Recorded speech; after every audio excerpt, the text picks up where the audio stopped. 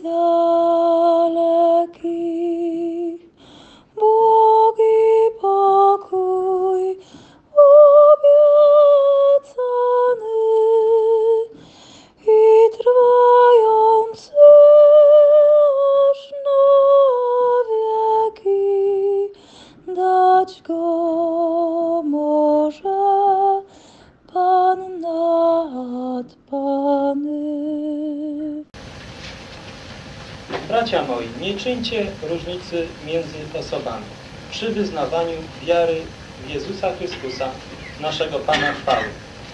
Bo gdyby do waszej synagogi przyszedł człowiek ze złotymi pierścieniami na palcach i we wspaniałej szacie, a przyszedłby też ubogi w nędznej szacie, a wy zwrócilibyście oczy na tego, który nosi wspaniałą szatę i powiedzielibyście, ty usiądź tu wygodnie, a ubogiemu powiedzielibyście, ty stań sobie tam lub usiądź u podnóżka mego.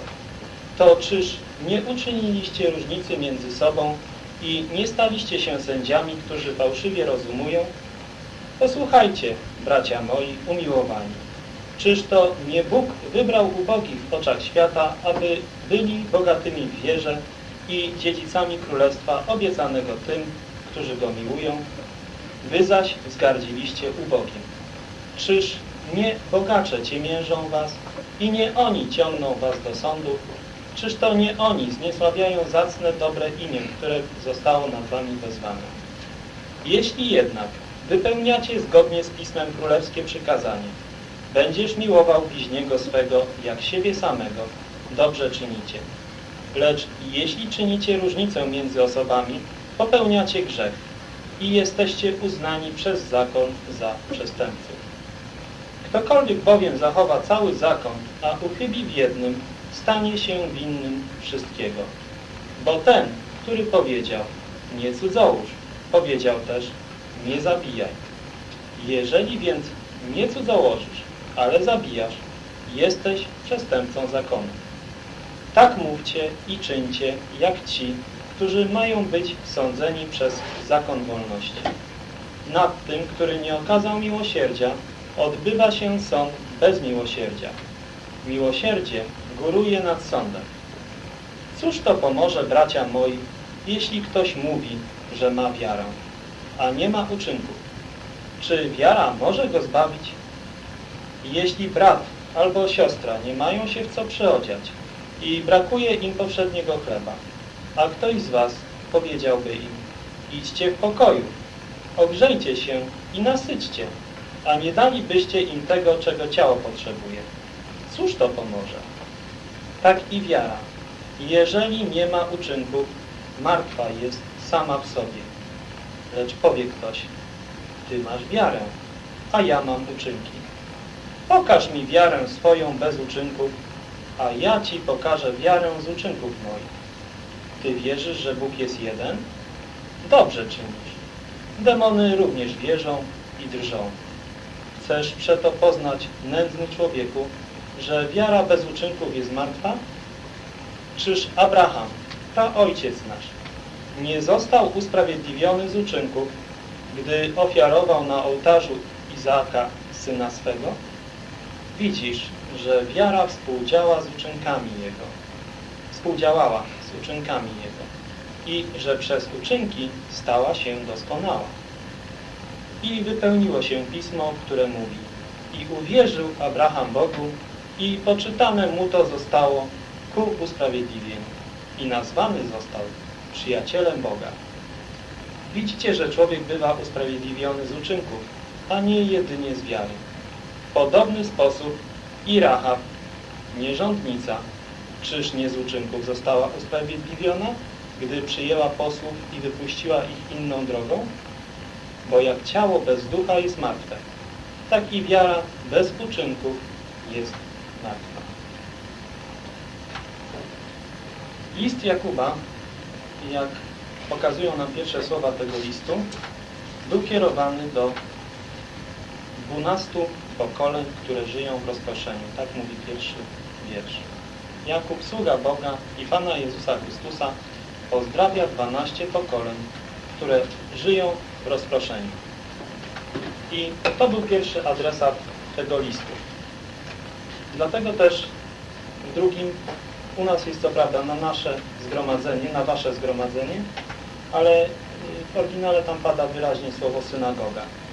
I dlatego, bo gdyby do waszej synagogi przyszedł człowiek ze złotymi pierścieniami. I to byli Żydzi, najprawdopodobniej ci, którzy y, mieli głoszone Słowo Boże przez apostołów, tak jak czytaliśmy w dziejach apostolskich, że oni odwiedzali co sabat y, synagogę i tam zwiastowali Słowo Boże i wielu, w wielu tych synagogach przyjmowało wiarę. I pierwsze słowa. Bracia moi, nie czyńcie różnicy między osobami przy wyznawaniu wiary w Jezusa Chrystusa, naszego Pana Pawła. Jest to bardzo ważna zasada, yy, która ma podwójne, że tak powiem, zastosowanie. Pierwsze jest tutaj powszechnie znane, czyli że chodzi o to, że jeżeli mamy kogoś jednego, to on tak samo jest przed Bogiem wart jak bogaty. Yy, inteligentny tak samo jak nieinteligentny. Żyd tak samo jak ten, który jest z pochodzenia Grekiem i nie ma Scyty, Tatarzyna, kobiety, mężczyzny, niewolnika wolnego przed Panem. I nie mamy takiej różnicy nigdy robić. Tutaj nie ma yy, podziału na moralne, czyli zły i dobry, tylko widzimy, że tutaj jest status danej osoby. Yy, jego pozycja wynikająca z jego takich cielesnych uwarunkowań, a nie z tego, jak moralnie postępuje. Bo wiadomo, że przed Bogiem ten, który praktykuje kradzież jest niemiły, a ten, który nie praktykuje jest miły. Druga rzecz, która tutaj y, jest y, w tym wierszu do zauważenia, to problem Żydów, którzy widzieli Pana Jezusa w uniżeniu jako sługę i czynili różnicę między Ojcem a Synem. I taka nauka do dziś istnieje, że Ojciec jest Bogiem, a Jezus nim nie jest, albo jest trochę mniejszym Bogiem. Ale tutaj mamy wyraźne pouczenie, że przy wyznawaniu tej wiary Jezusa Chrystusa, naszego Pana chwały, nie czynić tej różnicy. I dalszy przykład, który jest praktyczny w naszym codziennym chodzeniu do zastosowania, również może być odniesiony do osoby Pana Jezusa. Bo to Pan Jezus stał się dla nas ubogi. I dlatego w wierszu szóstym jest ubogi w liczbie pojedynczej. Pan Jezus stał się dla nas ubogi i przez ludzi tego świata, tak jak dzisiaj rozważaliśmy na uwielbieniu, widzieliśmy Go jako tego, który wyparł się samego siebie i stał się podobny ludziom. Tej całej chwały nie było widać przez, yy, nie widzieli ludzie, którzy Go obserwowali na co dzień, głównie Żydzi. I oni mieli z tym problem. Widzieli sługę Pana Jezusa i Ojca, Boga. I myśleli, że osoba Syna jest mniej wartościowa niż osoba Ojca. A wy zwróciliście oczy na tego, który nosi wspaniałą szatę i powiedzieli, a wy zwrócilibyście. Czyli tutaj ten błąd Jakub wykazuje, że oni zwracali uwagę na Ojca, to tak samo jakby zwrócili na jakiegoś wierzącego, który jest bogaty, oczy, a tego, który wygląda na biednego, posadziliby gdzieś w kącie. To samo zrobili z Panem Jezusem, który w ich oczach wyglądał na mało wartościowego, a Ojciec no, był w majestacie i był pierwszym celem ich uwielbień. Ale jak wiemy z Pisma, jest to niewłaściwe podejście, gdyż kto nie czci Syna, nie czci Ojca. Obaj mają taką samą wartość. Piąty wiersz. Bracia moi, umiłowani, czyż to nie Bóg wybrał ubogich w oczach świata, aby byli bogatymi w wierze i dziedzicami Królestwa obiecanego tym, którzy Go miłują. Koryntian jest podobna myśl, że niewielu wśród nas jest mądrych według tego świata, niewielu bogatych, niewielu wysokiego rodu, ale to, co głupie wybrał Bóg, to, co jest niczym, aby to, co jest czymś, unicestwić. I w życiu wierzących, takich jak na przykład apostoł Paweł, doskonale widzimy to, który mógł według ciała się chlubić wieloma rzeczami, ale powiedział, że to wszystko uznaje za śmiecie, byle tylko zyskać Chrystusa.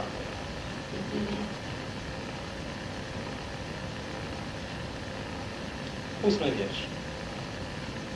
Będziesz miłował bliźniego swego jak siebie samego. I ono tutaj jest nazwane to przykazanie królewskim przykazaniem.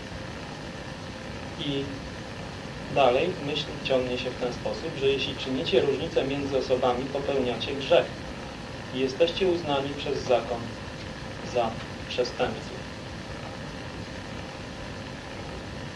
Ktokolwiek bowiem zachowa cały zakon, a uchybi w jednym, staje się winnym wszystkiego. I to jest zasada najbardziej chyba niezrozumiana w tym świecie. Bo w tym świecie mamy, że jeżeli ktoś jest mordercą, to przez świat jest postrzegany jako wyjątkowo podła osobistość. Jeśli ktoś kradnie publiczne pieniądze, też jest źle postrzegany. A jeśli ktoś jest cudzołożnikiem, no to już, to już jest jego sprawa, często jest mówione, byleby nie krzywdził, nie krzywdził dzieci. Jeszcze jakieś ślady moralności. I świat tego nie rozumie, ale my mamy to rozumieć, że ktokolwiek zachowa całe Słowo Boże, ale uchybi w jednym punkcie, jakimkolwiek, staje się winnym wszystkiego. Dlaczego? Bo tu jest znowu nasz wzrok skierowany na osobę Boga. Bo ten, który powiedział nie cudzołóż, powiedział też nie zabijaj. Czyli to jest wszystko ze względu na osobę Boga. Ten, który powiedział nie kradnij, powiedział wszystkie inne słowa Słowie Bożym, które mamy spisane. I nie można powiedzieć, że jedna z rzeczy, które On zalecił nam do wykonywania jest bardziej wartościowa od innej i że mamy zwracać uwagę na jedne y, Jego wymagania bardziej, a na inne mniej. To prawda, że niektóre wymagania Boże, jeżeli zaniedbujemy, to nie krzywdzą tak bardzo bliźnich jak inne. Przynajmniej tego nie widzimy. Bo jeżeli y, ktoś kradnie, to efekt można zobaczyć po pewnym czasie. A jeśli ktoś zabija, efekt widać od razu. I tak samo z innymi rzeczami, które są Słowie Bożym zalecone. Są rzeczy, które są według świata drobiazgami. Ale dla nas wszystko, co jest pisane w Słowie Bożym, nie jest drobiazgiem. Dlaczego? Ktokolwiek zachowa cały zakon, całe Słowo Boże, a uchybi w jednym, jest winny wszystkiego. I to jest też zasada, o której powinniśmy pamiętać, jeżeli mamy przywilej komuś mówić Ewangelię. Bo ludzie czasami mają takie podejście, że jeżeli jestem złodziejem, ale ja przynajmniej nie piję i sam siebie usprawiedliwia. A inny, który z kolei ma problem z alkoholem, to mówi, a wychylę od czasu do czasu, ale ja nikogo nie zabiłem. I tak się ludzie usprawiedliwiają. Ale Słowo Boże mówi wyraźnie. Kto bowiem zachowa cały zakon, a uchybi w jednym, stanie się winnym wszystkiego. I dzięki temu taki człowiek może zrozumieć, że jest zgubiony przed Bogiem. Nie ma różnicy między nieuczciwym biznesmenem a seryjnym mordercą. Jeśli chodzi o przekroczenie zakonu i kwalifikację do tego, że zasłużył na piekło, jeżeli gdziekolwiek Słowo Boże wykrzywi. Tym momencie, gdy on widzi, że jedyne na co zasługuje to gniew Boży, mamy możliwość przyprowadzić do Pana Jezusa, który przyszedł zbawić grzeszników. Wcześniej on się za grzesznika nie uważał, bo nie znał tej zasady. Ktokolwiek bowiem zachowa cały zakon, a uchybi w jednym, stanie się winnym wszystkiego. Nie ma tu miejsca na mówienie, że jeden grzech jest za 5 punktów, a drugi za 100 punktów.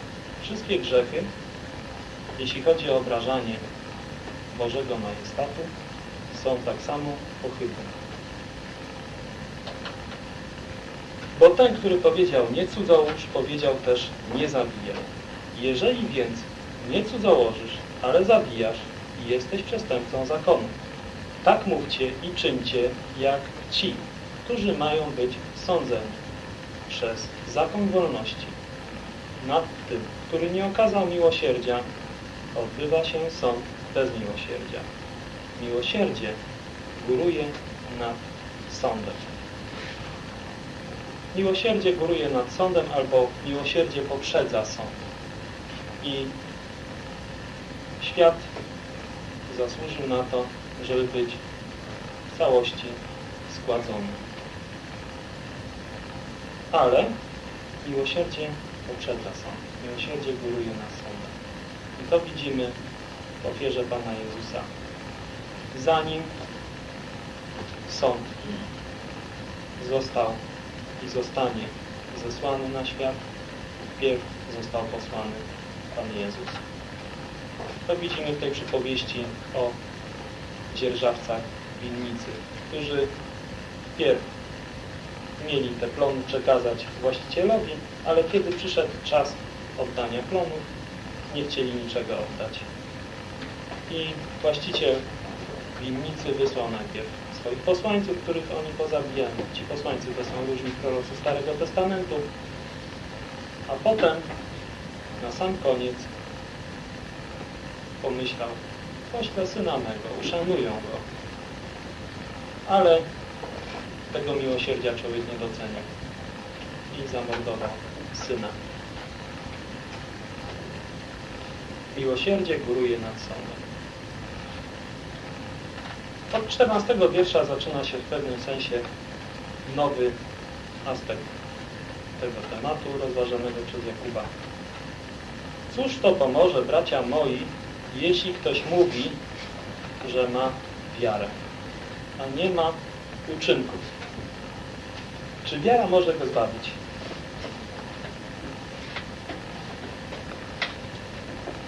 I wielu ludzi nie rozumiało tego wiersza. Luter między innymi myślał, że to jest sprzeczne z tym, czego uczy list do że zbawienie jest tylko i wyłącznie z łaski, z wiary usprawiedliwienie i próbowali skłócić tych dwóch nauczycieli. Ale tutaj jest jedno słowo, które Duch Święty specjalnie umieścił w tym wierszu. Słowo mówi. Cóż to pomoże, bracia moi, jeśli ktoś mówi, że ma wiarę? To nie jest powiedziane, cóż to pomoże, bracia moi, jeśli ktoś ma wiarę. Cóż to pomoże, bracia moi, że powiem, że mam 50 lat pracy i 65 lat. Czy należy mi się emerytura? Ja tylko mówię. Wszyscy wiecie, że nie ma. Cóż to pomoże bracia moi, jeśli ktoś mówi, że ma wiarę, a nie ma uczynków? Dla Jakuba jest tutaj to jednoznaczne, że każdy, kto rzeczywiście ma wiarę, to też ma uczynki. I o tym też uczy między innymi, dzisiaj czytaliśmy na uwielbieniu to miejsce z Efezjan, drugi rozdział.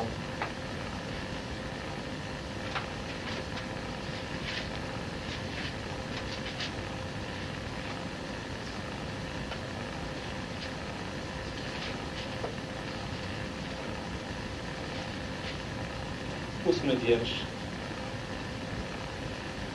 Łaską zbawieni jesteście przez wiarę i to nie z was, Boży to dar. Nie z uczynków, aby się kto nie chlubił. Jego bowiem dziełem jesteśmy, stworzeni w Chrystusie Jezusie, do dobrych uczynków, do których przeznaczył nas Bóg, abyśmy w nich chodzili. Tu nie ma żadnych wątpliwości, że jeśli człowiek jest zbawiony przez wiarę, to jest to dar Boży. I to nie uczynki tego człowieka spowodowały zbawienie, bo wtedy człowiek miałby podstawy do tego, żeby się chwalić. Nie będę w niebie, bo ja jestem taki dobry, a ty nie, bo ty jesteś zły. Nie, nie ma czegoś takiego. Nie z uczynków, aby się ktoś nie chlubił, nie chwalił. I dalej. Jego bowiem dziełem jesteśmy. Stworzeni w Chrystusie Jezusie. Inne miejsce mówi, jeśli ktoś jest w Chrystusie nowym, jest stworzeniem. Stare przeminęło, oto wszystko stało się nowe. I po co ten Chrystus Jezus nas stworzył, albo po co Bóg stworzył nas w Chrystusie Jezusie? Do dobrych uczynków, do których przeznaczył nas Bóg, abyśmy w nich chodzili. Czyli te dobre uczynki zawsze towarzyszą prawdziwemu nawróceniu. Zawsze jest to razem. I one po prostu wynikają, tak jak w przypadku drzewa, zawsze, jeżeli jest to drzewo żywe, owocowe, to owoce powinny być. Jeżeli nie ma owoców, każdy rozsądny człowiek ścina. Dlaczego? No bo to jest użyteczne, no chyba, że ktoś potrzebuje cieni. Ale to jest już inny temat. Jego bowiem dziełem jesteśmy stworzeni w Chrystusie Jezusie do dobrych uczynków, do których przeznaczył nas Bóg, abyśmy w nich chodzili. Cóż to pomoże, bracia moi, jeśli ktoś mówi, że ma wiarę, a nie ma uczynków? Czy wiara może go zbawić? Jeśli brat, aha, jeszcze może zajrzyjmy do Genezis, do pierwszej Mojżeszowej.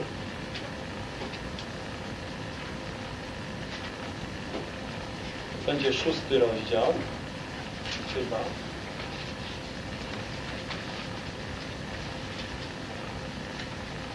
Tak, szósty rozdział.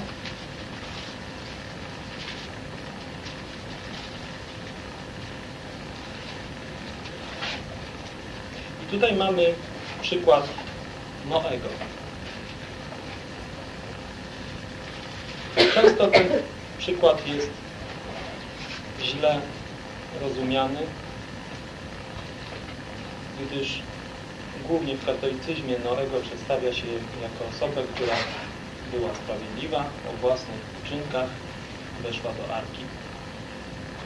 I ponieważ mieszkamy w kraju, gdzie mamy dużo znajomych rzymskich katolików, to pewnie nieraz słyszeliśmy takie wyjaśnienie.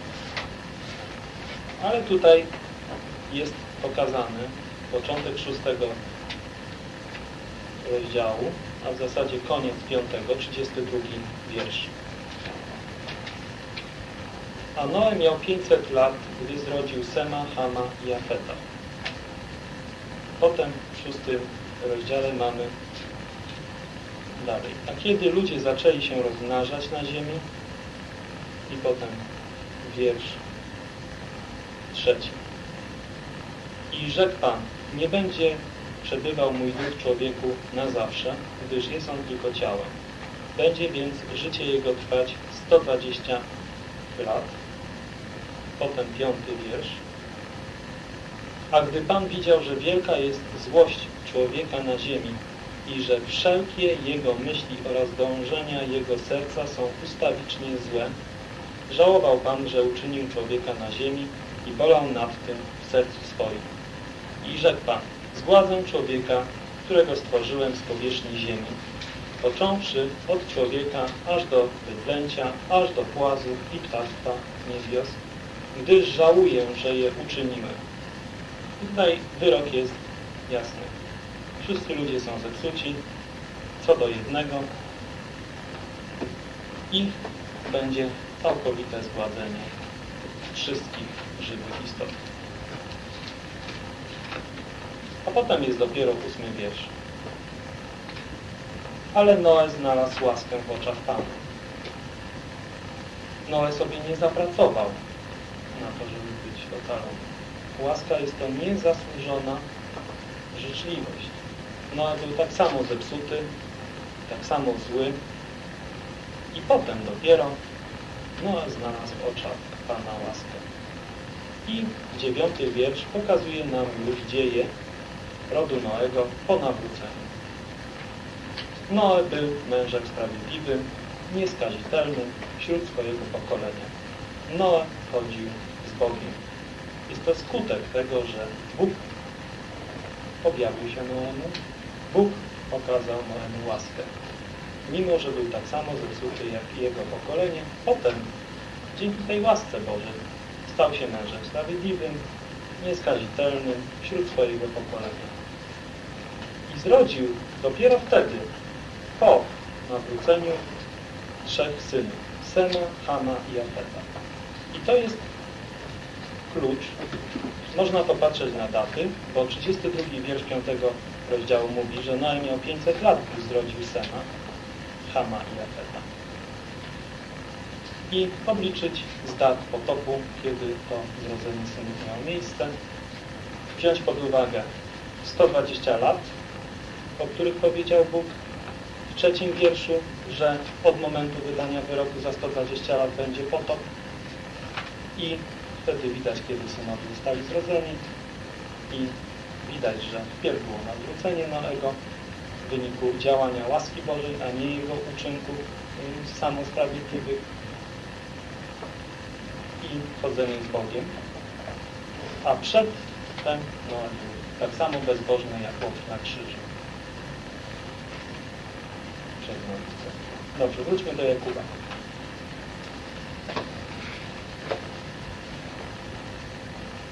I tutaj mamy od 15 wiersza kilka praktycznych wskazówek Jakuba odnośnie działania człowieka,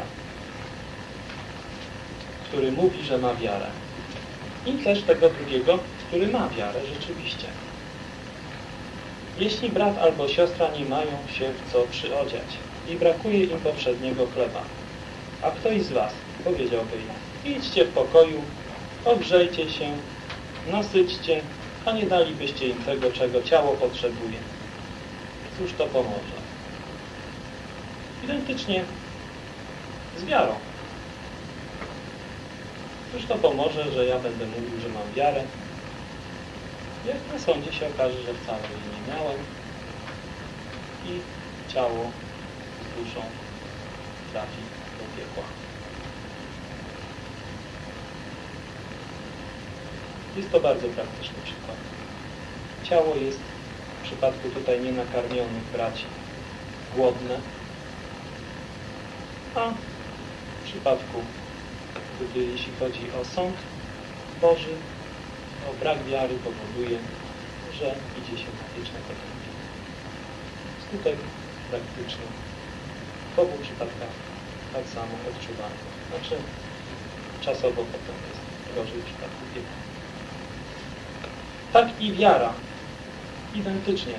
Jeżeli nie ma uczynków, martwa jest sama w sobie. Lecz powie ktoś, ty masz wiarę, a ja mam uczynki. Pokaż mi wiarę swoją bez uczynków, a ja Ci pokażę wiarę z uczynków moich. Czyli mamy tutaj osobę, która mówi, że ma wiarę i osobę, która ma wiarę. Osoba, która ma wiarę, nawet czasami nie musi nic mówić. Dlatego jest do sióstr powiedziane, że jeśli ich mężowie są nieposłuszni słowu, to żeby przez ciche postępowanie niewiast bez słowa zostali pozyskani. Dlaczego? Dlatego, że po prostu czyny mówią czasami głośniej niż słowa.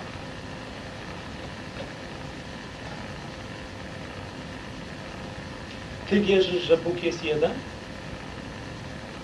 Dobrze czynisz. Ale taka wiara nie jest tą wiarą, która ma istotne znaczenie. Dlaczego? Bo demony także w to wierzą i drżą. Wierzysz w Jezusa? To zobaczmy w Jana.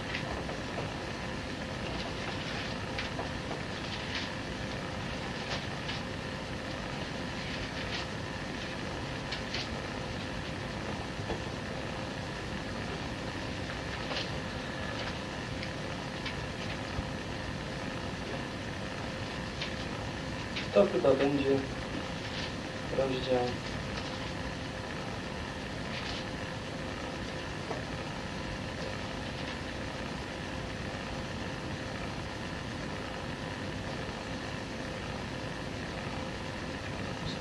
Tak, ósmy rozdział, 31, 30 wiersz.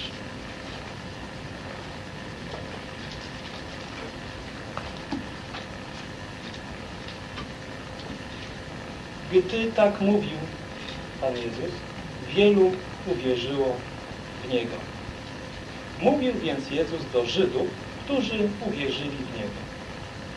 Jeśli wytrwacie w Słowie moim, prawdziwie uczniami moimi będziecie i poznacie prawdę, a prawda was wyswobodzi. Tutaj mamy Żydów, którzy nie tylko wierzyli, że Bóg jest jeden, ale także jest o nich powiedziane, że uwierzyło w Jezusa. Nie o Jezusie tylko, ale w Jezusa. I co potem czynili ci wierzący w 59 wierszu? Wtedy porwali kamienie, aby rzucić na Niego. Lecz Jezus ukrył się i wyszedł ze świątyni. Już z tego uczynku widzimy, że ta wiara w Jezusa, którą mieli ci Żydzi, to nie była wiara, która zbawia.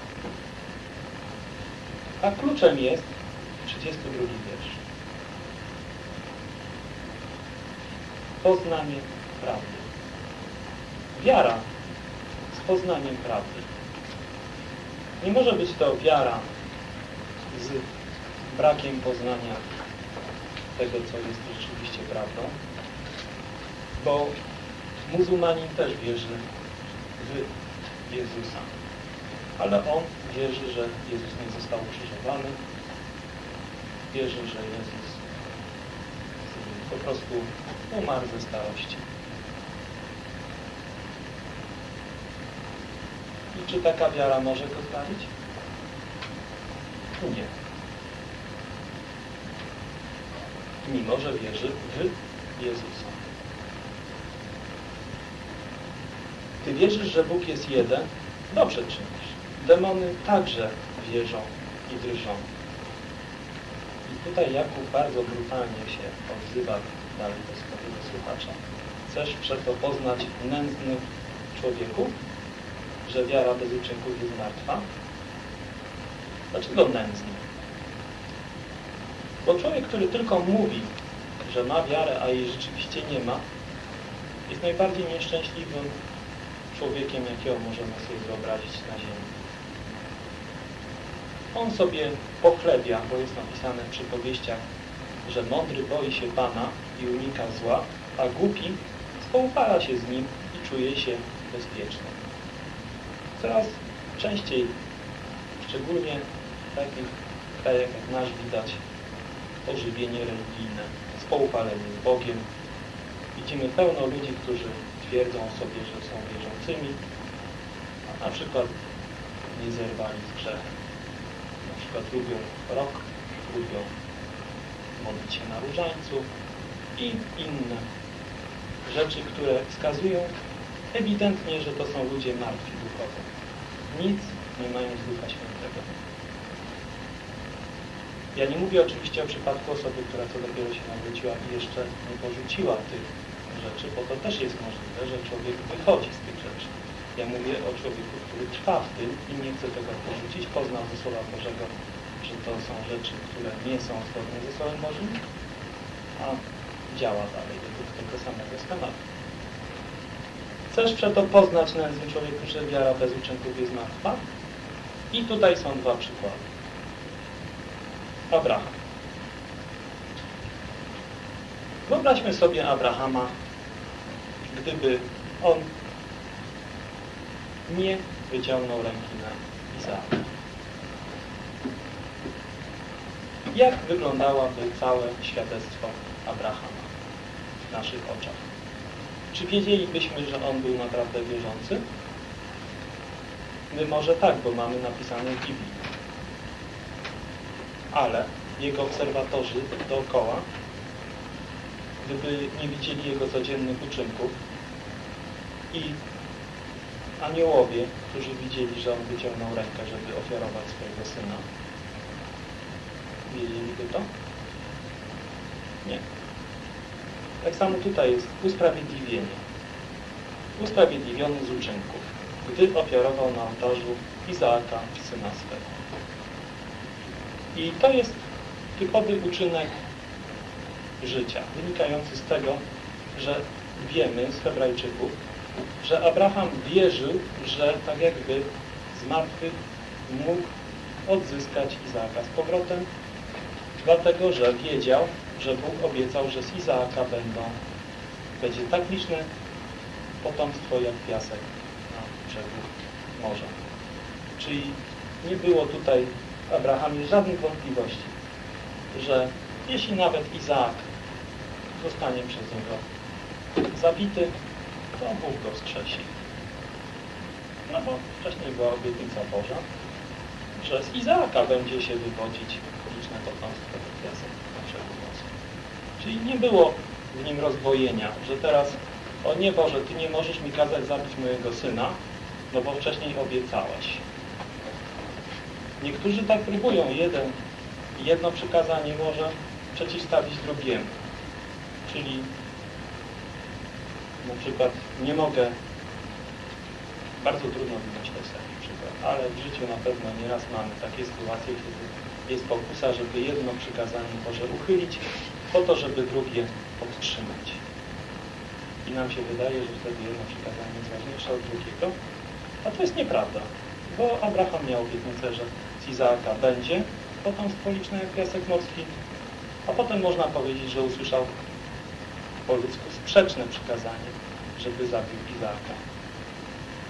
Jeżeli mamy pewność, że to pochodzi ze Słowa Bożego, co Bóg od nas wymaga, to nie mamy żadnych podstaw do niepokoju.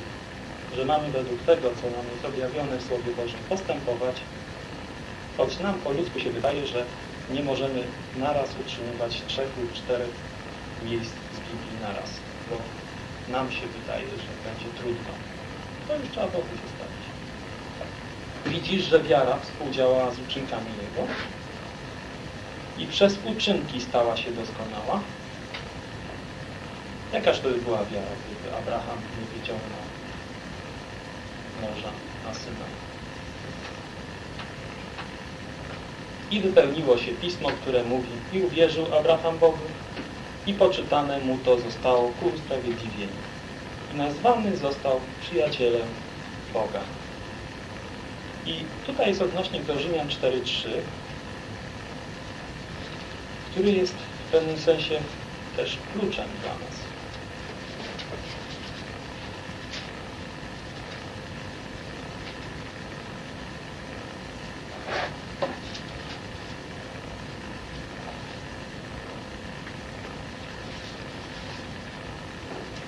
4.3, a wcześniej 4.2. Cóż wtedy powiemy, co osiągnął Abraham, praojciec nasz według ciała? Bo jeśli Abraham z uczynków został usprawiedliwiony, ma się z czego chlubić, ale nie przed Bogiem. To co mówi Pismo? Uwierzył Abraham Bogu i poczytane mu to zostało za sprawiedliwość. Właśnie 4.2 pokazuje nam, przed kim został usprawiedliwiony z uczynków Abraham. Ma się z czego chlubić, ale nie przed Bogiem.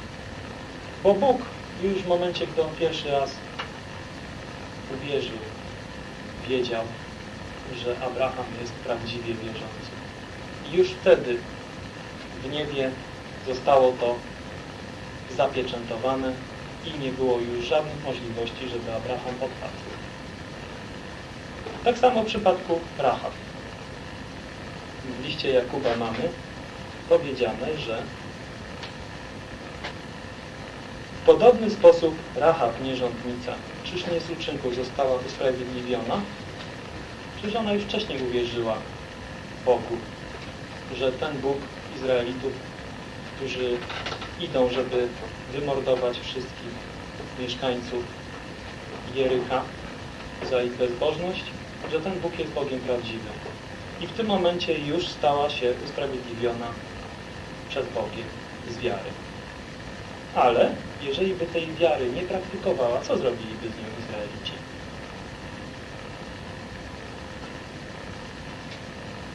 Zgodziliby ją.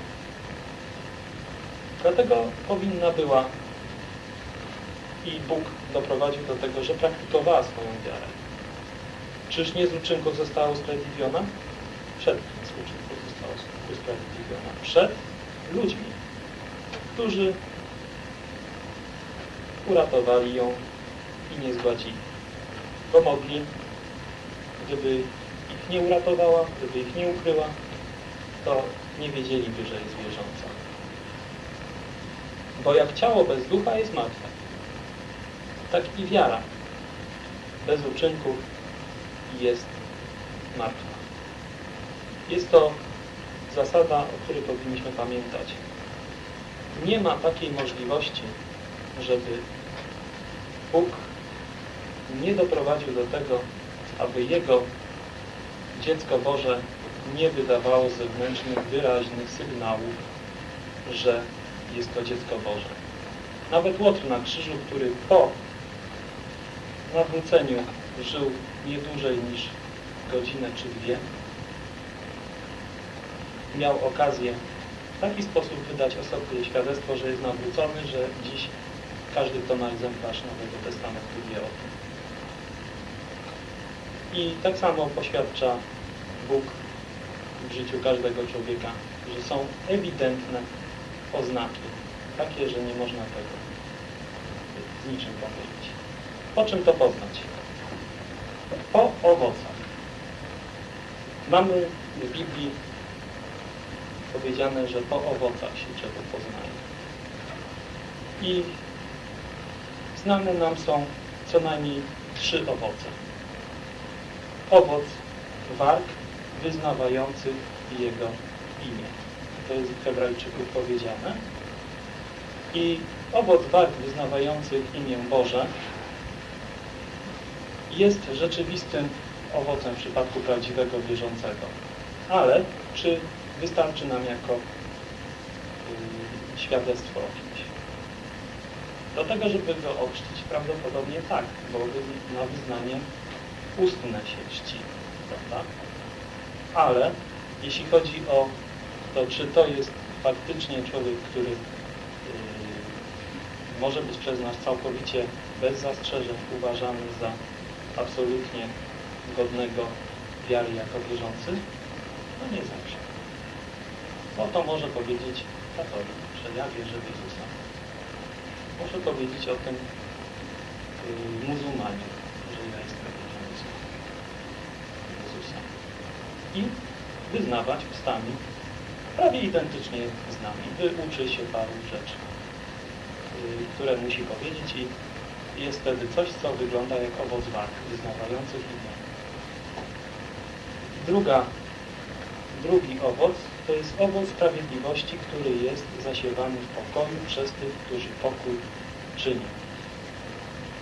I z tego co pamiętam, ten owoc także był już w Starym Testamencie znany, że właśnie pokój jest zasiewany sprawiedliwości przez tych, którzy pokój czynią. I to pokazuje, że to także mógł czynić starotestamentowy Izraelita stosujący się do zakonu, nie mający życia Bożego. Ale również to czyni każdy prawdziwie narodzony na nowo chrześcijan. Wydaje taki owoc. A trzeci owoc, który jest charakterystyczny tylko i wyłącznie dla chrześcijan, to jest Galacjan.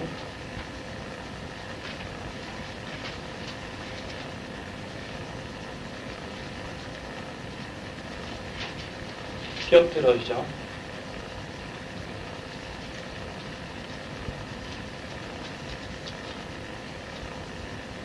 Dwudziesty drugi wiersz.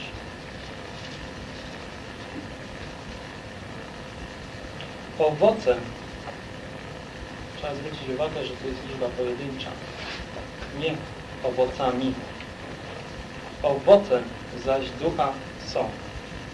Na ten jeden owoc składa się to wszystko. Miłość, radość, pokój, cierpliwość, uprzejmość, dobroć, wierność, łagodność, trzemięźliwość. Czyli jeżeli mamy człowieka, który mm, deklaruje miłość, ale na przykład nie ma w nim żadnej radości, nie ma ewidentnego dowodu, że on ten owoc wytwarza. Bo jeżeli mamy na przykład jabłko, które ma skórkę ogonek, ale nie ma miąższu, to się z nas wydaje. Nie jest to ten owoc.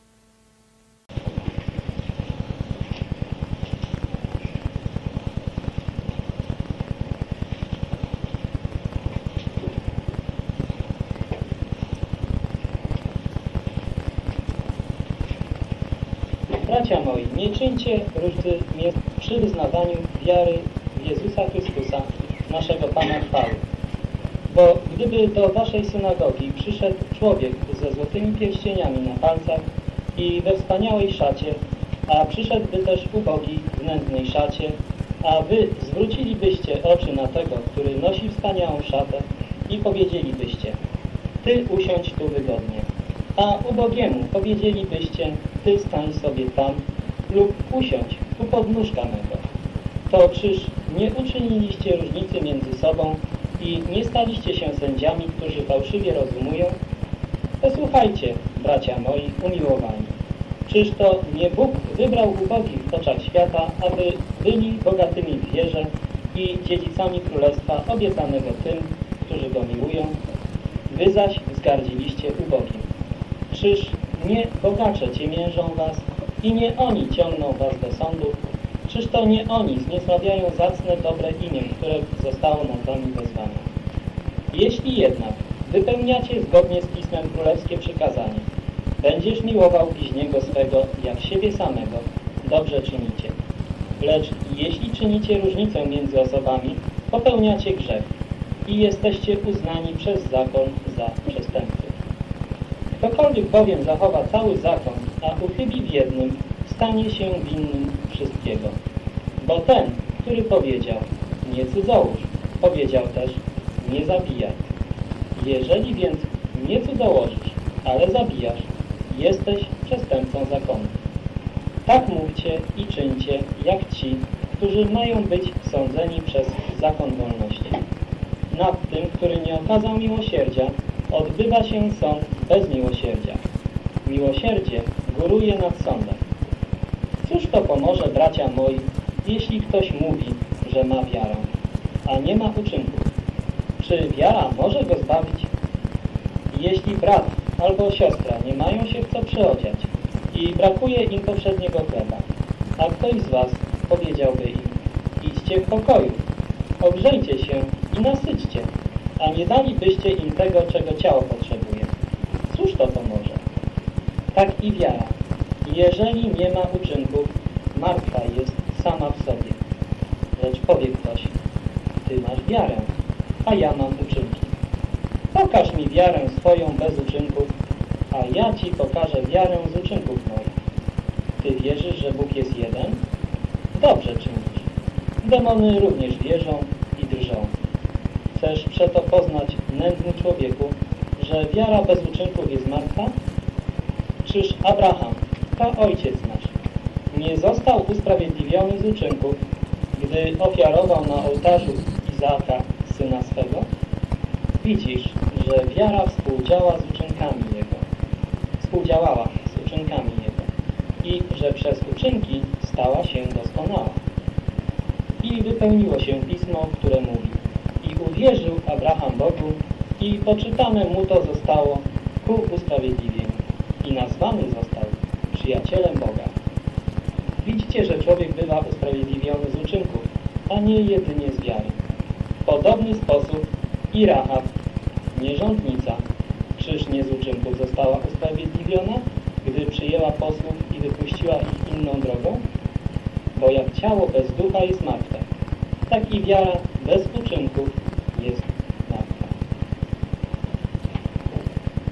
List Jakuba, jak pokazują nam pierwsze słowa tego listu, był kierowany do dwunastu pokoleń, które żyją w Emczy.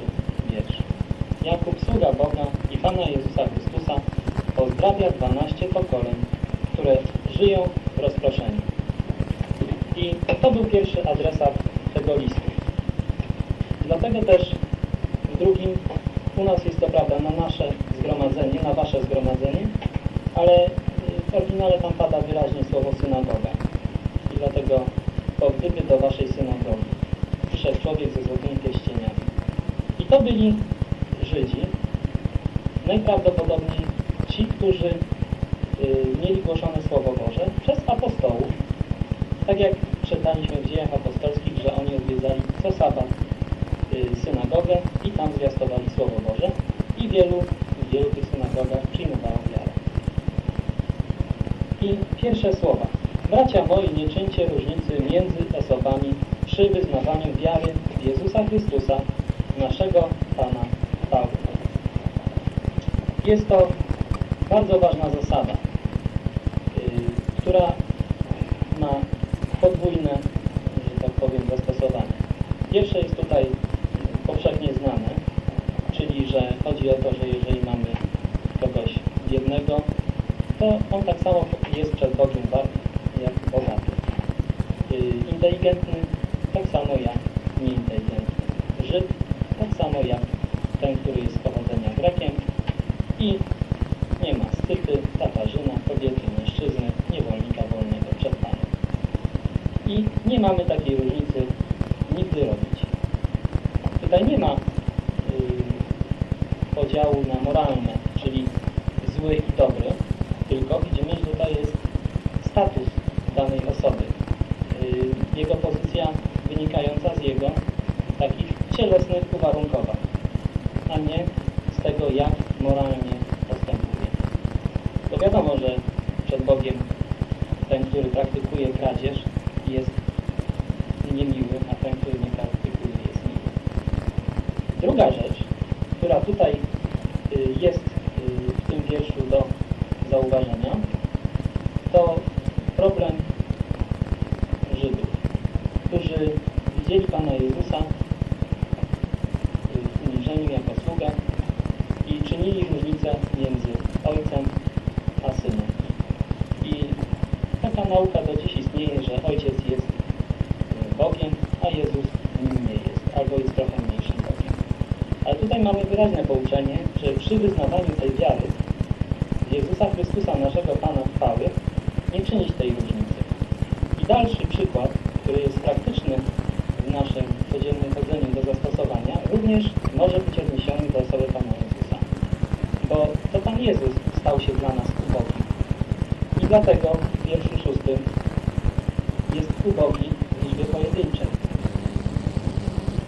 Kamil stał się dla nas ubogi i przez ludzi tego świata, tak jak dzisiaj rozważaliśmy na uwielbieniu, widzieliśmy go jako tego, który wyparł się samego siebie i stał się podobny ludziom. Tej całej chwały nie było widać przez, yy, nie widzieli ludzie, którzy go obserwowali na co dzień, głównie Żydzi. I oni mieli z tym problem.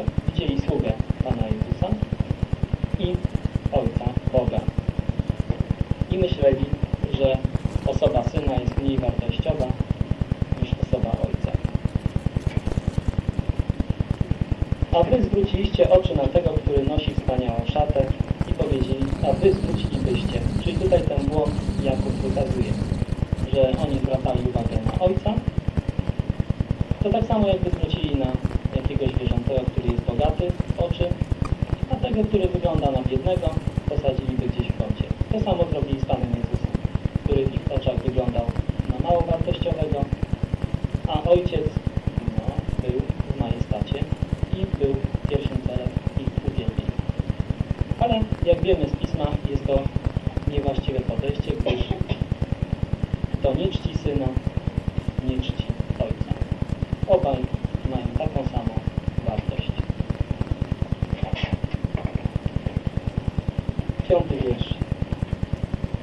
bracia moi czyż to nie Bóg wybrał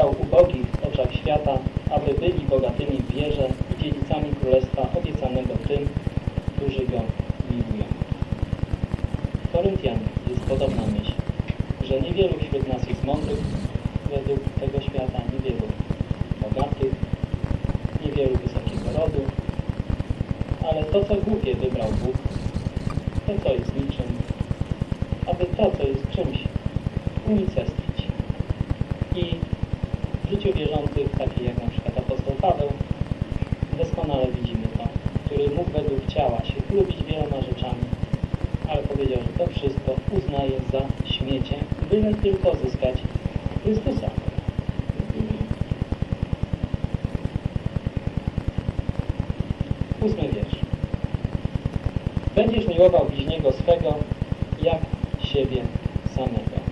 I ono tutaj jest nazwane to przykazanie królewskim przykazaniem.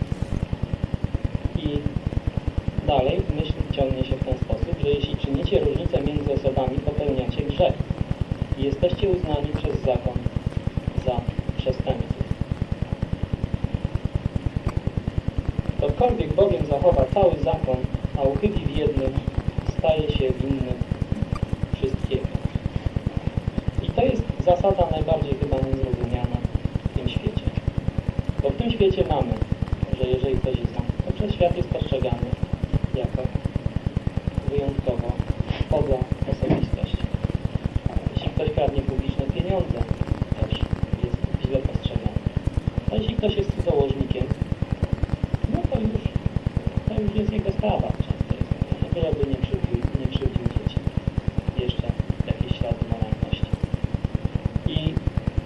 Ja tego nie rozumiem.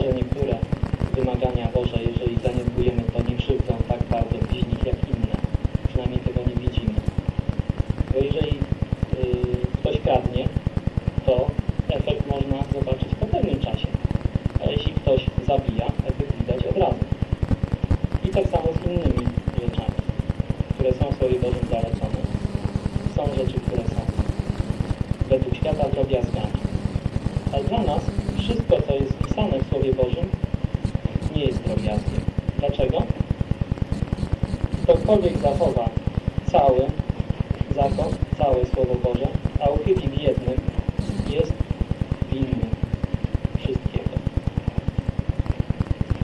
I to jest też zasada, od której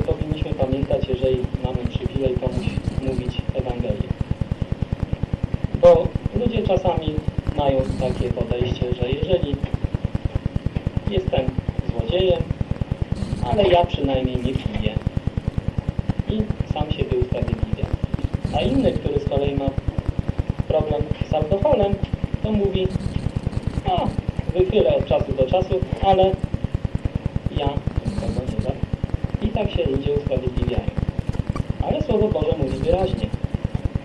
Kto bowiem zachowa cały zakon, a uchybi w jednym, stanie się winnym wszystkiego. I dzięki temu taki człowiek może zrozumieć, że jest zgubiony przed Bogiem. Nie ma różnicy między nieuczciwym biznesmenem a seryjnym mordercą. Jeśli chodzi o przekroczenie zakonu i kwalifikację do tego, że zasłużył na piekło, jeżeli gdziekolwiek Słowo Boże utrzyma. W tym momencie, gdy on widzi, że jedyne na co zasługuje to gniew Boży, mamy możliwość przyprowadzić do Pana Jezusa, który przyszedł zbawić grzeszników. Wcześniej on się za grzesznika nie uważał, bo nie znał tej zasady. Ktokolwiek bowiem zachowa cały zakon, a uchybi w jednym, stanie się winnym wszystkiego. Nie ma tu miejsca na mówienie, że jeden grzech jest za 5 punktów, a drugi za 100 punktów. Wszystkie grzechy, jeśli chodzi o obrażanie Bożego Majestatu, są tak samo ohydne. Bo ten, który powiedział nie cudzołóż, powiedział też nie zabijaj. Jeżeli więc nie cudzołożysz, ale zabijasz, jesteś przestępcą zakonu. Tak mówcie i czyńcie, jak ci, którzy mają być sądzeni przez zakon wolności. Nad tym, który nie okazał miłosierdzia, odbywa się sąd bez miłosierdzia. Miłosierdzie góruje nad sądem. Miłosierdzie góruje nad sądem albo miłosierdzie poprzedza sąd. I świat zasłużył na to, żeby być w całości zgładzony. Ale miłosierdzie poprzedza sąd. Miłosierdzie góruje nad sądem. I to widzimy w ofierze Pana Jezusa. Zanim sąd został i zostanie zesłany na świat, wpierw został posłany Pan Jezus. To widzimy w tej przypowieści o dzierżawcach winnicy, którzy wpierw mieli te plony przekazać właścicielowi, ale kiedy przyszedł czas oddania plonu, nie chcieli niczego oddać. I właściciel winnicy wysłał najpierw swoich posłańców, których oni pozabijali. Ci posłańcy to są różni prorocy Starego Testamentu, a potem na sam koniec pomyślał, poślę syna mego, uszanują go. Ale tego miłosierdzia człowiek nie docenia i zamordował syna. Miłosierdzie góruje nad sądem. Od 14 wiersza zaczyna się w pewnym sensie nowy aspekt tego tematu rozważonego przez Jakuba. Cóż to pomoże, bracia moi, jeśli ktoś mówi, że ma wiarę, a nie ma uczynków? Czy wiara może go zbawić?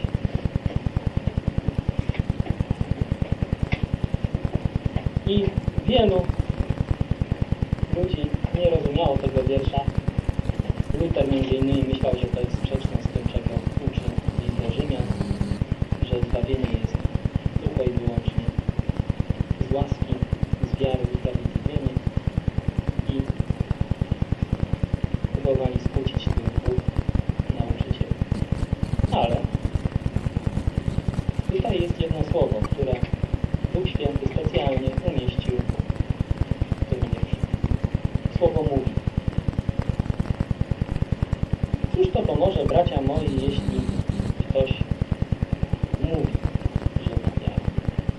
Nie jest powiedziane, cóż to pomoże, bracia moi, jeśli ktoś ma wiarę.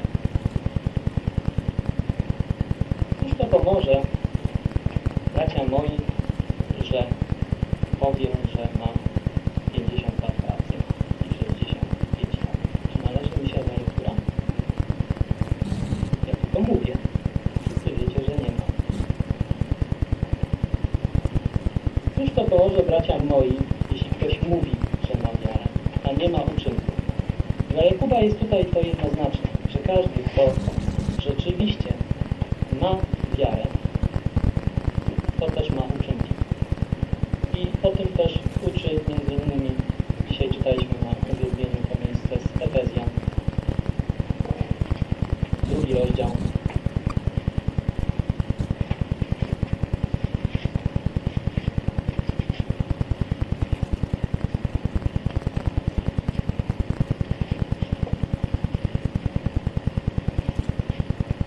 Ósmy wiersz. Łaską zbawieni jesteście przez wiarę i to nie z was, Boży to dar. Nie z uczynków, aby się kto nie chlubił. Jego bowiem dziełem jesteśmy, stworzeni w Chrystusie Jezusie, do dobrych uczynków, do których przeznaczył nas Bóg, abyśmy w nich chodzili. Tu nie ma żadnych wątpliwości, że jeśli człowiek jest zbawiony przez wiarę, to jest to dar Boży. I to nie uczynki tego człowieka, to jest zbawienie,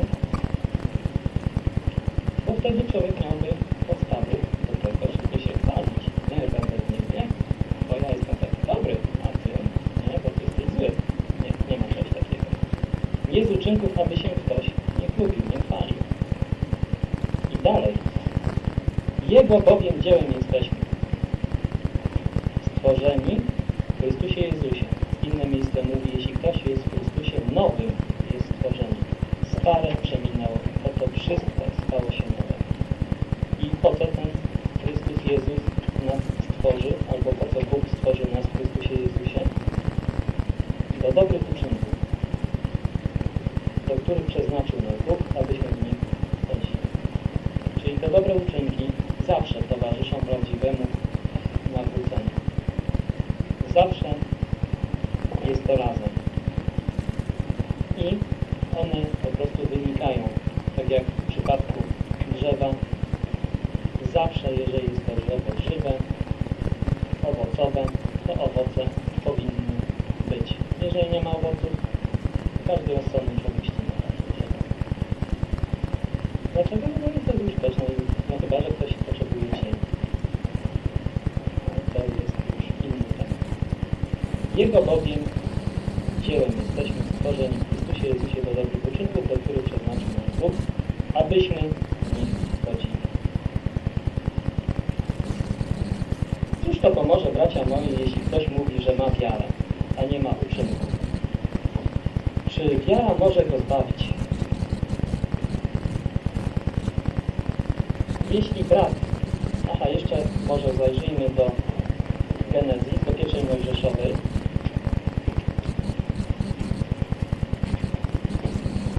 Będzie szósty rozdział, chyba.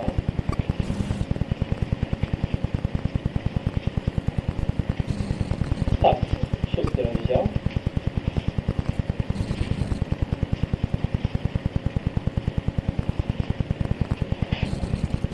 I tutaj mamy przykład Noego. Często ten przykład jest źle rozumiany, gdyż głównie w katolicyzmie Noego przedstawia się jako osobę, która była sprawiedliwa, o własnych uczynkach weszła do Arki. I ponieważ mieszkamy w kraju, gdzie mamy dużo znajomych rzymskich katolików, to pewnie nieraz słyszeliśmy takie wyjaśnienie. Tutaj jest pokazany początek szóstego rozdziału, a w zasadzie koniec piątego, 32 wiersz. A Noe miał 500 lat, gdy zrodził Sema, Hama i Jafeta. Potem w szóstym rozdziale mamy dalej. A kiedy ludzie zaczęli się rozmnażać na ziemi, i potem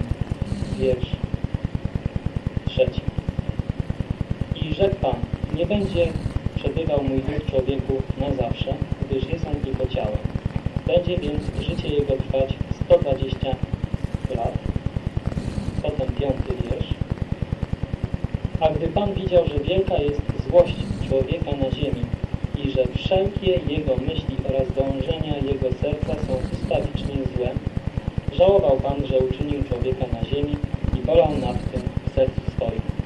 I rzekł Pan, zgładzę człowieka, którego stworzyłem z powierzchni ziemi, począwszy od człowieka aż do bydlęcia, aż do płazów i ptactwa niebios, gdyż żałuję, że je uczyniłem.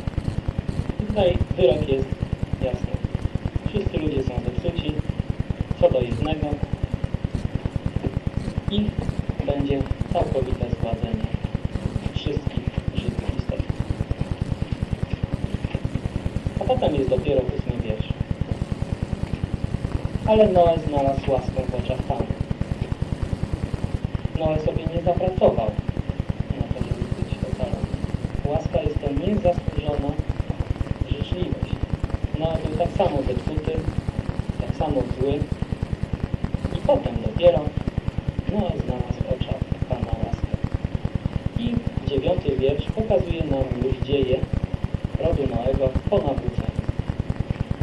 Noe był mężem sprawiedliwym, nieskazitelnym wśród swojego pokolenia.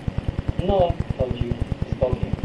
Jest to skutek tego, że Bóg objawił się Noemu, Bóg okazał Noemu łaskę. Mimo, że był tak samo zepsuty jak jego pokolenie, potem dzięki tej łasce Bożej stał się mężem sprawiedliwym, nieskazitelnym wśród swojego pokolenia. I zrodził dopiero wtedy, po nawróceniu, trzech synów, Sema, Hama i Jafeta. I to jest klucz. Można popatrzeć na daty, bo 32 wiersz 5 rozdziału mówi, że Noe miał 500 lat, gdy zrodził Sema, Hama i Jafeta. I obliczyć z dat potopu, kiedy to zrodzenie. Wziąć pod uwagę 120 lat, o których powiedział Bóg w trzecim wierszu, że od momentu wydania wyroku za 120 lat będzie potop i wtedy widać, kiedy synowie zostali zrodzeni i widać nawrócenie Noego w wyniku działania łaski Bożej, a nie jego uczynków y, samosprawiedliwych i chodzenie z Bogiem. A przedtem no, tak samo bezbożny jak chłop na krzyżu. Przed nami. Dobrze, wróćmy do Jakuba.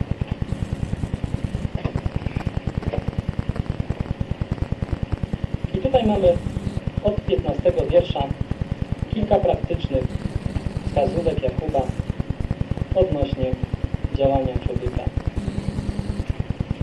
który mówi, że ma wiarę. I też tego drugiego, który ma wiarę rzeczywiście. Jeśli brat albo siostra nie mają się co przyodziać i brakuje im poprzedniego chleba, a ktoś z was powiedziałby idźcie w pokoju, ogrzejcie się, nasyćcie, a nie dalibyście im tego, czego ciało potrzebuje. Cóż to pomoże? Identycznie z wiarą. Cóż to pomoże, że ja będę mówił, że mam wiarę? Jak na sądzie się okaże, że wcale jej nie miałem i ciało z duszą trafi do piekła. Jest to bardzo praktyczny przykład. Ciało jest w przypadku tutaj nienakarmionych braci głodne,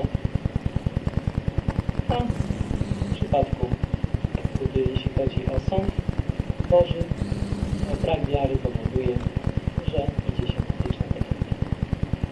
Skutek praktyczny. W obu przypadkach tak samo odczuwamy. Znaczy czasowo potem jest gorzej w przypadku piekła. Tak i wiara. Identycznie. Jeżeli nie ma uczynków, martwa jest sama w sobie. Lecz powie ktoś, ty masz wiarę, a ja mam uczynki. Pokaż mi wiarę swoją bez uczynków, a ja ci pokażę wiarę z uczynków moich. Czyli mamy tutaj osobę, która mówi, że ma wiarę i osobę, która ma wiarę. Osoba, która ma wiarę, nawet czasami nie musi nic mówić. Dlatego jest do sióstr powiedziane, że jeśli ich mężowie są nieposłuszni słowu, to żeby przez ciche postępowanie niewiast bez słowa zostali pozyskani. Dlaczego?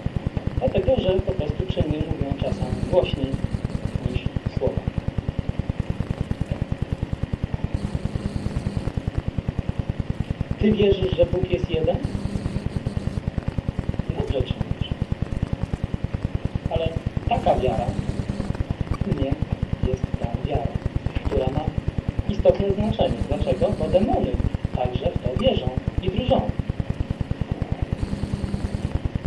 Wierzysz w Jezusa? To zobaczmy w Jana.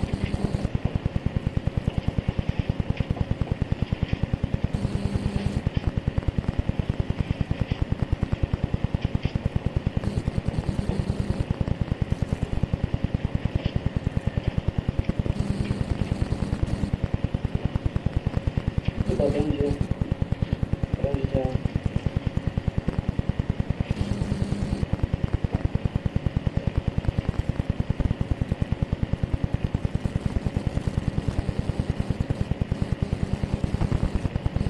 Tak, ósmy rozdział, 31, 30 wiersz.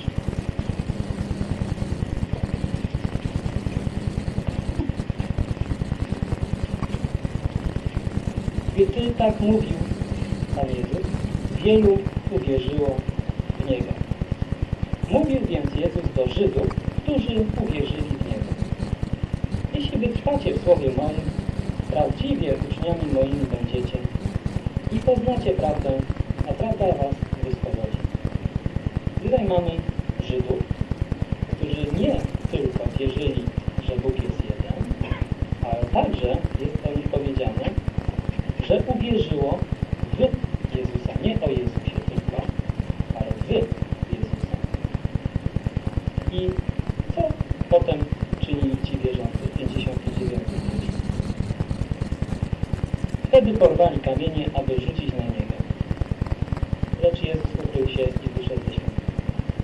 Już z tego uczynku widzimy, że ta wiara w Jezusa, którą ci Żydzi, to nie była wiara, która stawia. A kluczem jest 32 wiersz. Poznanie prawdy. Wiara z poznaniem prawdy. Nie może być to wiara z brakiem poznania tego, co jest rzeczywiście prawdą, bo muzułmanin też wierzy w Jezusa. Ale on wierzy, że Jezus nie został ukrzyżowany, wierzy, że Jezus po prostu umarł do starości. I czy taka wiara może poprawić? Nie. Mimo, że wierzy w Jezusa. Ty wierzysz, że Bóg jest jeden? Dobrze czynisz. Demony także wierzą i drżą. I tutaj Jakub bardzo brutalnie się odzywa dalej do swojego słuchacza.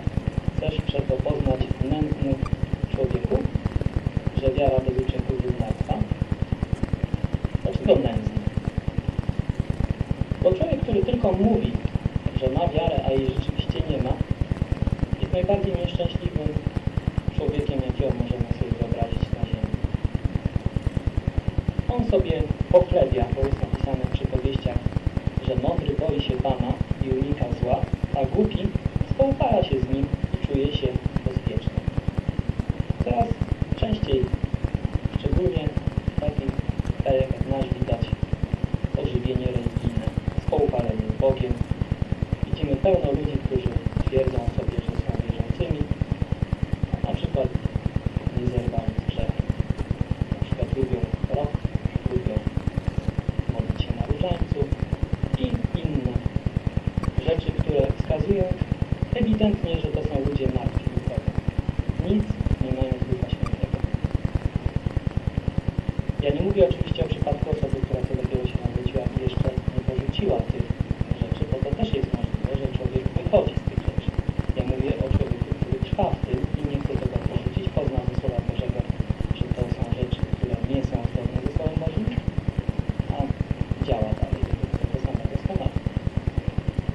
Chcesz przeto poznać nędzny człowieku, że wiara bez uczynków jest martwa? I tutaj są dwa przykłady. Abraham.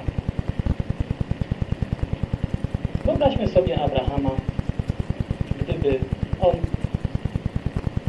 nie wyciągnął ręki na Izaaka. Jak wyglądałoby całe świadectwo Abrahama w naszych oczach? Czy wiedzielibyśmy, że on był naprawdę wierzący? My może tak, bo mamy napisane w Biblii. Ale jego obserwatorzy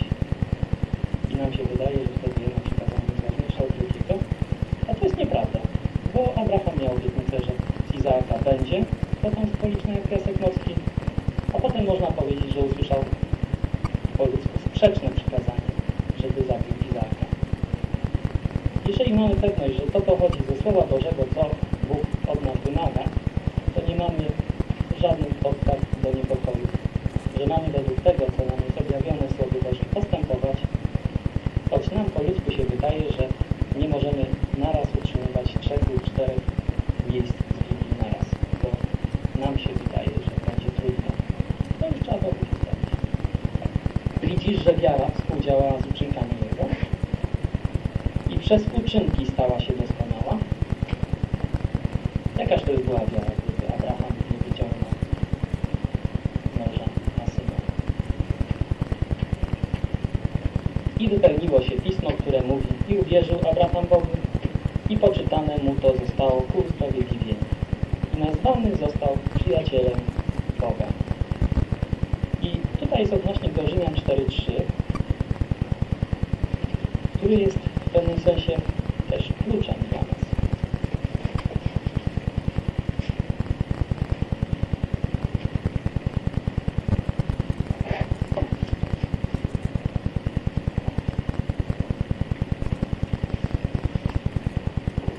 Cztery trzy, a wcześniej cztery dwa. Cóż wtedy powiemy, co osiągnął Abraham, praojciec nasz według ciała? Bo jeśli Abraham z uczynków został usprawiedliwiony, ma się z czego chlubić, ale nie przed Bogiem. To co mówi Pismo? Uwierzył Abraham Bogu i poczytane mu to zostało za sprawiedliwość. Właśnie 4.2 pokazuje nam, przed kim został usprawiedliwiony z uczynków Abraham. Ma się z czego chlubić, ale nie przed Bogiem. Bo Bóg już w momencie, gdy on pierwszy raz uwierzył, wiedział, że Abraham jest prawdziwie wierzący. I już wtedy w niebie zostało to zapieczętowane i nie było już żadnych możliwości, żeby Abraham odpadł. Tak samo w przypadku Rahab. W liście Jakuba mamy powiedziane, że W podobny sposób Rahab, nierządnica, czyż nie z uczynku została usprawiedliwiona? Czyż ona już wcześniej uwierzyła Bogu, że ten Bóg Izraelitów, którzy idą, żeby wymordować wszystkich mieszkańców Jerycha za ich bezbożność, że ten Bóg jest Bogiem prawdziwym. I w tym momencie już stała się usprawiedliwiona przed Bogiem z wiary. Ale jeżeli by tej wiary nie praktykowała, co zrobiliby z nią Izraelici?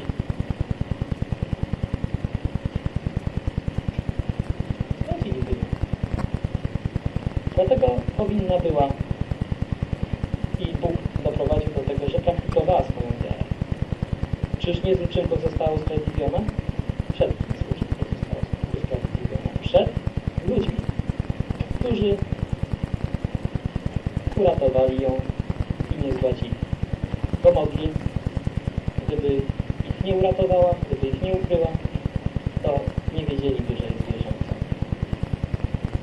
Bo jak ciało bez ducha jest martwe, tak i wiara bez uczynków jest martwa. Jest to zasada, o której powinniśmy pamiętać.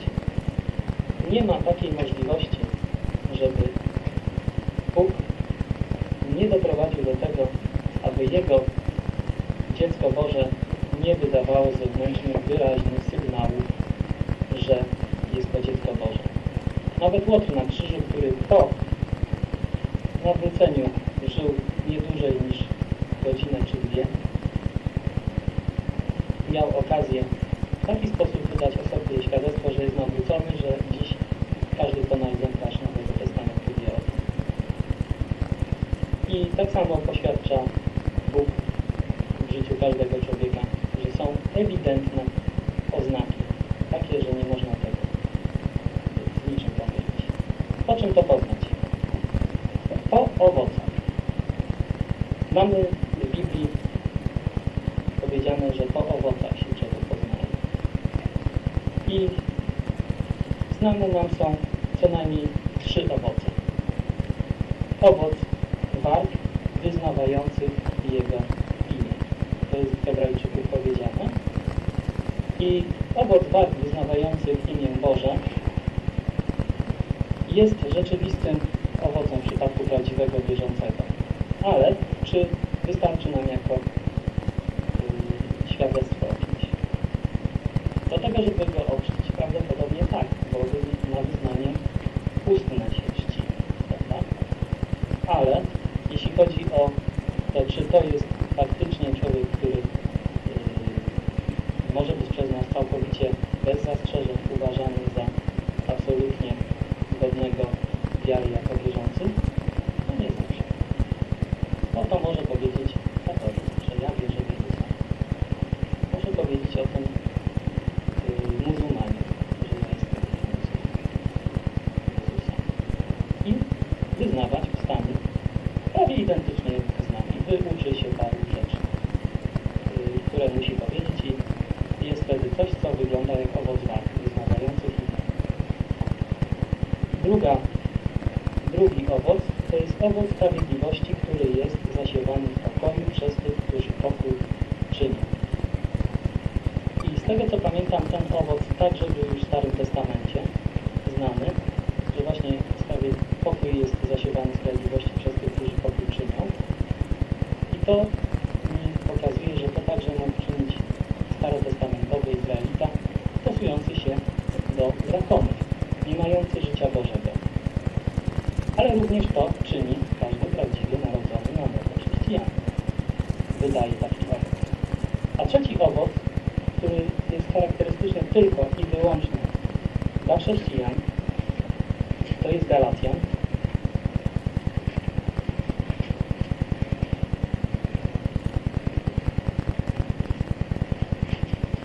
25 rozdział.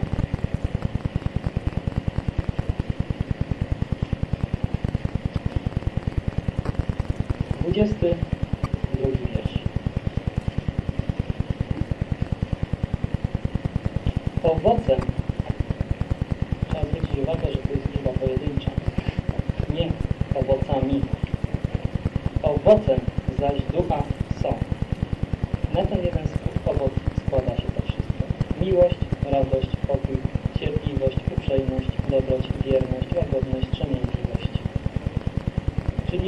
jeżeli